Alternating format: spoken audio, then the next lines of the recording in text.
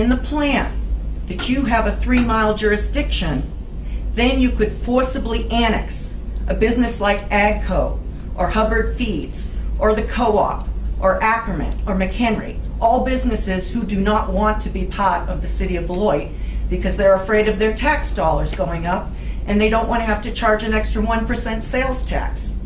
That's one of the reasons we do business with Ackerman, because we have 1% less sales tax. And it wouldn't be very nice to be taking those tax dollars away from the county. I, I spoke with Glenn at the Planning Commission meeting on September 9th about this voluntary and involuntary, and he said the laws have changed quite a bit over the years, and it really wouldn't be a good idea for the city to try to force annexation. And at that point, I asked the Planning Commission, well, please take this out of the plan. But they did not. So that is what I think the real meaning of this is all about. And we are very frightened that AGCO would pull up stakes and leave Beloit, and this town would be a whole different place. Ron Harris is my neighbor.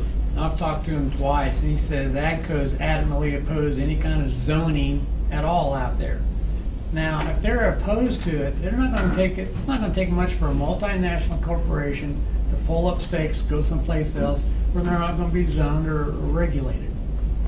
And I spoke to Ron, and I told him that we wanted him to join forces with us, and he said that he will not bring his attorneys in until the city tries to force him to be annexed in. I've also don't spoken. Anybody who's ever said we're Yeah. even interested in annexing in, You're putting words in our mouth. yeah, we, No, we're no, not. no. I'm just telling you, when I invest, Why do we want to bring in annex people who don't want to be in it? That would be a. why are the catch-22. words in the There's no plan? You could take the words out. You could take the words out. Me. We're not looking to annex those people. We're not looking to annex anybody. If they don't want to come in, there's no reason for us to fight them to try to bring them in. If they want to come in voluntarily, we would more than happily bring them in. But there's no benefit to us to try to forcibly annex AGCO, huge corporation. We want them here. If people want to come in voluntarily, we'd be more than happy because we're providing them services anyway. But we'd like to have them in, sure. But we're, I don't, I haven't heard anybody say, we need to sit down and really talk about bringing, uh, annexing Well, these it's in people the in. We plan. talked about zoning. We've never talked about. It's in the plan. It says to use involuntary annexation, Just and I be asked them to clear, take it it's- out. It's been there since the original comprehensive plan. It didn't change, they didn't change the language from the original, so they just left it from back. But you guys can take it out. They- Be they- involved. Yeah, they could. Well, the problem is also they'll now be zoned, and they don't want to be zoned or regulated or any more control over them at all. And that's, that's part of the issue. I don't want to be either, Dave, but that's too bad. Well, Sunflower ain't going nowhere, trust me. they're a multinational Uh, you know, I corporation. want to say one thing. I don't understand why anybody that lives in the city of Beloit is opposed to somebody being annexed. Do you know how many thousands of dollars in taxes you're paying because they're not paying any? Oh, absolutely. I moved from Yeah, Lawrence, and I had a But they're hundred good for the sixty city, thousand I mean. home, and I was paying twelve hundred dollars a year taxes on that. My mom's house is a hundred and fifty-five thousand. She's paying thirty-two hundred dollars in taxes on that. And I'm not advocating annexing like Tom said. We're, we're not advocating annexing anybody. That's not, that's for. fine. Then Please take the language out of the plan then, the involuntary annexation in the plan. Or zoning. I haven't even read through it, so I don't know what's. But I think that would ease some minds, but he's also right, they do not want to be zoned either. We don't want people. But this attorneys lining up, just in case the city does that, because I've been speaking to the businesses. They'll make a lot Well, of for the record, we've, we've provided a lot of services to AGCO. They're good for our community. They are want great. They are here. great for the Our- community. Our community's good for AGCO, and, you know. That- it's- Right. I agree. You know, we, I we're not agree. doing anything to run them off. We're not lining up attorneys to do business with AGCO, not our intent. The planning commission has, you know, what they're trying to do is what's best for our whole community with inside, outside the city to protect us. We're trying to grow. Some people don't think we're growing. We're growing. You look at what was presented tonight. We're trying to keep our community moving forward, which would benefit everyone in here, every business in town, everyone. As, as we grow our tax base, as, as these buildings come on our tax rolls, hopefully eventually it will lessen the tax on everybody. And then down the road, we hope that, uh, you know, it'll encourage more people to continue to build in our community. If, if you look around us, as Glenn stated, we're one of the few communities that are moving forward. I mean, you look at all the new buildings. I, I drove around one evening just counting all the new uh, homes that's been built since I moved here in, in January '94. And after you get to write it down, it's amazing what the growth of this is. And then I go back to my hometown, which is about 60 miles from here, and it's just the opposite. I mean, a lot of houses are gone. You know, the, the beautiful homes, uh, when uh, we were younger, 20 years ago, before we moved to this community, were beautiful homes. You know, it's like, man, that's the home I want.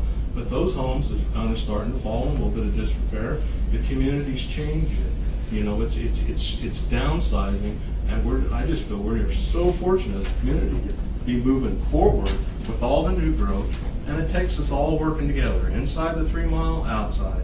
You know, we, we've got to work it together, and I think the, uh, the planning commission has spent numerous hours, and I, I commend them on the time that they spent, not only for the, the uh, comprehensive plan and the, and the three model, but just all the other things that they deal with, uh, with, with, that deals with everything within the city. And it, it's a, uh, takes a lot of time and commitment for those people. I, I provided a demographic report on that growth.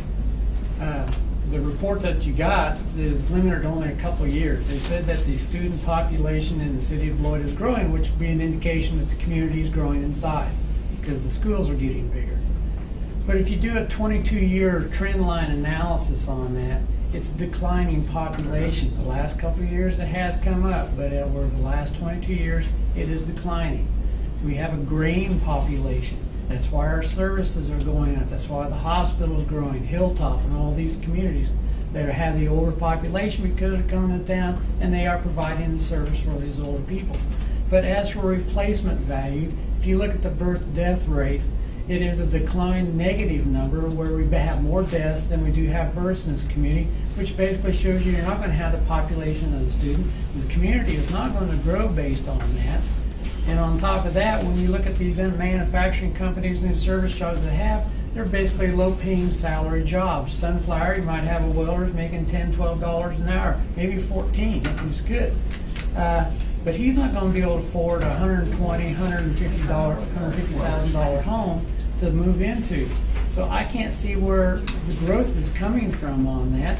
In fact, based on the population of the county and the city, if you look at it over the last hundred years, it's declining. It's a, it's a steady decline.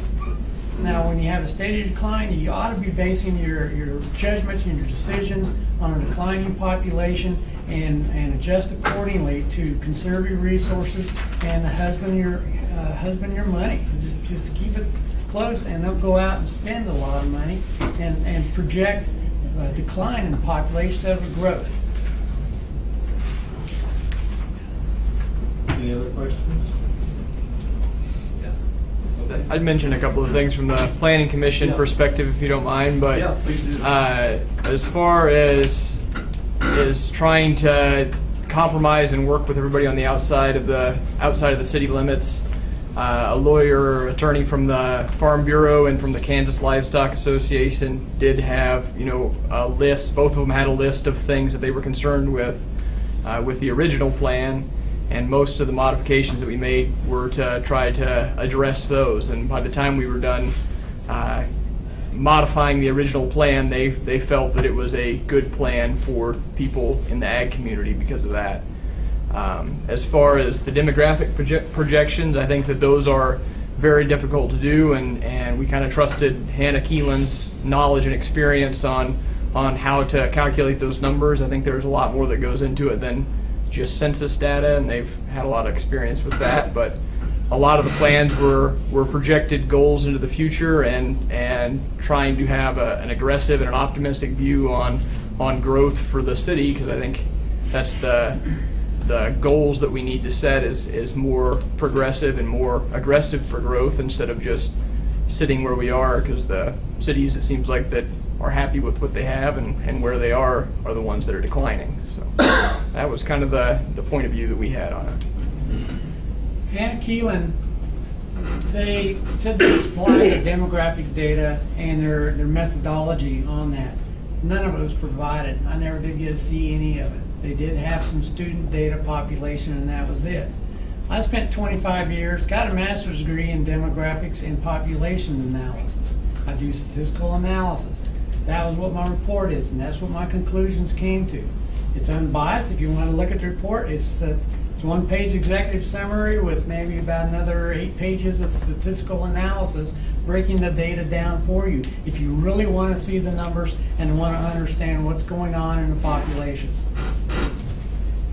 Well, no matter what's going on with the population, I think we have a progressive community, and I think we need to keep it moving the direction we are.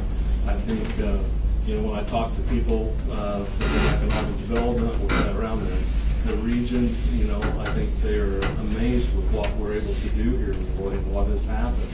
And, you know, that gets reported back to us uh, quite a bit through Heather and, and other people we ran into, and, and it's, it's like, uh, we've got a lot of good things, and we gotta keep it moving, so, and I think that's a lot of things like that come with having a plan, and, uh, that way we know where we're going. I, I totally agree. I, I, I think that's gonna wrap it up this evening. So, We'll stand adjourned.